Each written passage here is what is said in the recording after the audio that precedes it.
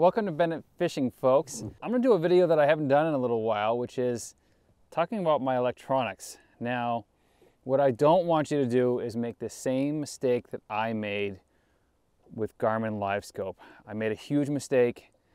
I should have spent a little bit more money, just like everybody says about with LiveScope. You kind of either kind of buy once, cry once, unfortunately. So Garmin LiveScope Plus is what I have. It's a very expensive unit just the sonar is an expensive unit. So just this sonar itself is like $1,500. Uh, I'm running an amped outdoor, I think it's a 30 amp hour battery. That's about $200. The black box on the back is $500. And then the head unit can be down all the way down to like, I think 600 bucks, which is six, $700, which is the Garmin 93 SV, which I think is the smallest nine inch slowest one you can buy for LiveScope. And then I'm running the uh, GPS map 923XSV. Now, I do want to tell you right now, Garmin's website is a complete piece of garbage.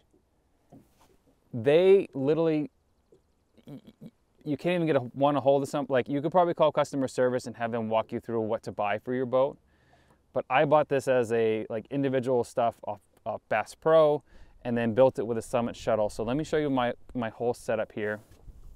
It's kind of wonky right now because I haven't fully switched it over to open water season. We just kind of finished ice season re recently. So I'm running the Summit shuttle and this is from Summit Fishing. Now I'm not sponsored by Garmin and I'm not sponsored by Summit at all. So I'm running their shuttle. I got my battery here, my head unit here, and then my black box, which is this thing in the back, you do need a power switch because otherwise you will kill the battery and actually will never charge. So make sure you install a power switch when you do this. This bag's kind of nice. I have an extra sonar in there, ice fishing sonar, and then I have uh, supplies and stuff on that side like hooks and jigs and tackle. Now I'm running the Summit pole off a ram mount that I kind of made myself. And right now I'm gonna loosen this and I'll show you that I have it in forward mode, but that extends, this is the boat pole, which is a little bit longer. Now the image clarity on this is absolutely fantastic. So right now we have a little bit what's called ghost tree. So these are actual returns that are coming back from the sonar and basically hitting themselves. That's the way that I understand it. I can turn some of that off by sonar setup, ghost rejection on high. And I can turn some of that off to make it look really pretty. I'd rather have the information there and so see how it lags still a little bit. And this is a this is a 13, 1400 dollar unit. It's not very cheap, uh, or the head unit. So the head unit does a lot of work, and the GLS 10, the black box in the box in the back, does a lot of work. So as you can see, right there is my jig. Now, live time that has a little bit of delay in it because I added the ghost tree in, so I'm actually gonna take that back off sonar setup, ghost tree, back off.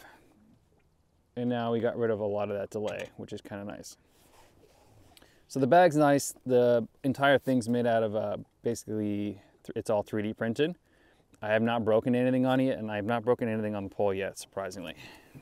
Now, the major problem is, is last year, so this is my full kind of one year review and why I don't want you to make the same mistake that I did is last year I bought this probably midsummer without the Summit shuttle and I mounted the head unit hard to my boat and then I mounted GLS, the black box underneath here and I mounted the battery in the back. So, and then I had my pole hanging off the side without this little stopper on here. And this is just made out of uh, like plastic wood you can buy at Lowe's or Home Depot. I'll leave the link for that stuff below. I'm gonna leave the link for all this stuff below, of course. Problem is, is I am I have a tiller boat so I work work out of the back of my boat. I have a great system for working out of the back of my boat when I'm by myself. The problem is when I invite people on the boat, I have an issue where now I need to, last year I couldn't move it anywhere because it was hard mounted. Now that I have it in the shuttle, I'm really worried that this thing's gonna fly out of the boat. So I do have to find a way to, it's really heavy, do have to find a way to mount it hard onto the boat, um, like clip it in or strap it in so it doesn't fly because when I have someone else in the boat, I have to do this. I have a secondary mount up there, and then I put my bag on the very, very front there, which is also very, very sketchy. And that way I can live scope off the front of the boat and cast like you would a normal boat, except for when I want to turn the sonar that way, the trolling motor gets in the way instead of having it on the trolling motor. As far as the mistakes go, is I should have really bought another screen. And I'll tell you how, now that I kind of know how Garmin works, as I came from Humminbird before, is what I should have done is bought another Garmin 93 SV, so not this head unit, but the cheaper one at the time, a network box, and networked the front one to the, the back one to the front one and had another one up front. That way I would have had two screens. I wouldn't have to move it, I wouldn't have to shuttle it. I could hardwire everything, get in a networks box, which is like 200 something dollars with another cable. So it probably would have been another 900 bucks or so. But then I wouldn't have to be worried about doing all that and moving things up front and back and, and all that jazz. So this cable is actually 20 feet long. So all I have to do is run the cable down and underneath my rod locker and have a central point where I can move it front and back. So I could, when I'm by myself, I could work out of the back of the boat. When I'm with somebody, I can run it out of the front of my boat. Uh, what's the glory of this is I can pop it off and put it on my canoe. Uh, it's already in ice fishing mode, so when ice fishing season comes, I don't need to take my boat apart and stuff like that. That's what I should have done. Now that I have the G, uh, a GPS map and an Echo map, those two aren't compatible with networking for some stupid reason from Garmin, just to help make you buy more expensive units. The reason I opted for the GPS map unit is because I can actually record live scope on my phone. And I'll show you some footage kind of overlaid right here of that from a couple days ago where there's like lake trout and fish everywhere. It was really, really epic. As far as a one year review goes, I absolutely love uh, of this thing. Like it is a double thumbs up. I have learned so much about one fish behavior, where fish could actually possibly be, uh, I actually have a fish on the screen right now.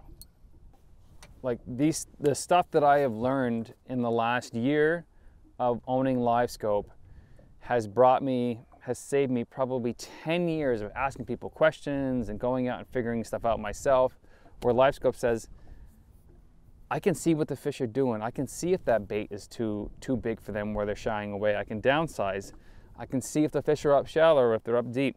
Now this is the Garmin 90, 90 uh, this is the Garmin LiveScope Plus, so the LVS34. They do make a, uh, an XR version with extended range.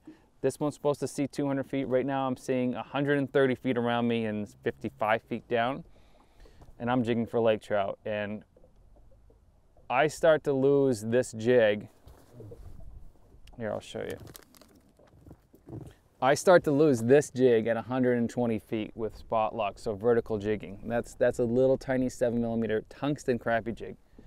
It is absolutely fantastic. Rarely do I fish for lake trout over 100 unless I'm on a, a bigger lake or something like that, and then I'll switch over to, to 2D if I have to. Now, one of the most common questions that gets asked is, why are you running a pole instead of running a running the sonar from LiveScope on your trolling motor? Well, one, I don't always fish in the front of my boat. And two is right now, I have no fish around me in this direction. I'm not sure which way to go. So I'd have to, if it was on my bow, I'd have to spin my trolling motor all the way around, take it off spot lock. Right here, I can just do this. See, now there's a fish that's 55 feet behind me, right there. And I can cast to them, right? And instead of having it forward facing, if you're just bass fishing and stuff like that, when you're not really multi-species like I am, it makes a lot of sense to have it just on your bow, just looking forward, especially if you don't have a co-angler with you a lot of times. That's where it makes a little more sense. But if you're going after crappie, if you're going after uh, lake trout, if you're going after any of these species that it's not super competitive and you're not like forward casting the whole time or even vertical jigging, a pole is the way to go. Even if I had, even if I was doing a bass fishing tournament, I would run the pole off the trolling motor but have it independent so I can pan around while I'm on spot lock. So right now the wind's blowing at my face. So my mistake, not buying two head units. Garmin's website's still complete garbage. Um, do I suggest buying one of these setups, yes, I'll leave the link for all of this stuff below. if you're ice fishing, if you're doing any sort of pan fishing, this is like absolute cheat code. Like finding fish, tracking them down. In a small pond, you can just save yourself days and days and days worth of finding the right spot for a crappie or, or, or even bass for that matter, especially during ice fishing season. It is absolutely fantastic. So I uh, hope you guys learn from my mistake and either uh, call Garmin and figure out a way to you know, network your boat or be okay with a shuttle. There are more expensive shuttles out there, like uh, Arc Lab, and like there's a couple other ones that make like metal ones. Uh, this one works for me for right now. I wish I had upgraded the pole. That'll probably be next year because it is kind of a wonky system, but it does work. So thanks for watching.